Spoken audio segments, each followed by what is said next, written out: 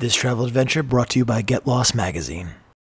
If you travel an hour west of Madrid, you'll find yourself in some of the most beautiful green landscape imaginable. This is San Lorenzo de la Escorial, and the site of the historic residence of the King of Spain, built by Philip II in the 16th century. This controversial building, constructed by Juan Bautista, who also worked on St. Peter's Basilica in Rome, has many functions with two main and opposing halves. One a monastery, the seat of the Catholic Church, and the other a vast library that housed the world's knowledge, which cleverly hid many of the books banned during the Spanish Inquisition. This walled city was a retirement home for the King of Spain, and underneath was a lavish necropolis where future royalty would be buried. Beyond the impressive El Escorial, the town of San Lorenzo is a charming and regal affair, and also is the home of the Royal Theatre.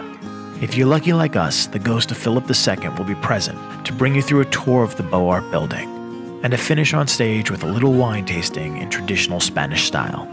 There really is no better way to experience the history and culture of this fascinating regal hamlet than by sampling the best varietal of grapes the Iberian Peninsula has to offer. Long live the king!